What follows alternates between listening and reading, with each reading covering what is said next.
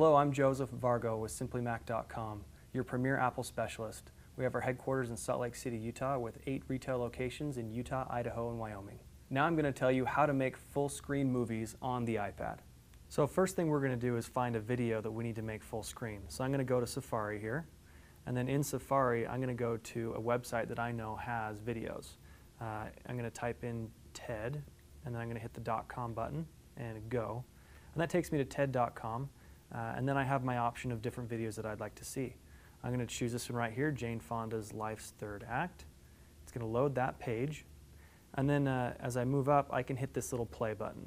As I hit the play button, it's going to actually change it over from what was a flash to uh, a more iPad-friendly video format. And it's going in this little teeny screen. We want to make it fill out the whole screen. And there's no buttons, but if I touch the window, you can see there's a small arrow, and if I hit that button, it takes it full screen. Now I can actually make it even larger. Uh, again, we have no buttons that have shown up, but if you tap the screen, in the top right-hand corner here, there's this little arrow button again, and it makes it even wider, fills out that uh, wide screen.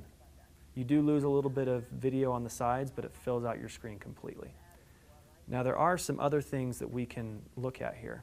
Uh, if I go back out to my main page and I go to something um, like YouTube here, if I want to play this video or a video on the side, if I just touch that video, it's going to automatically start loading it in full screen.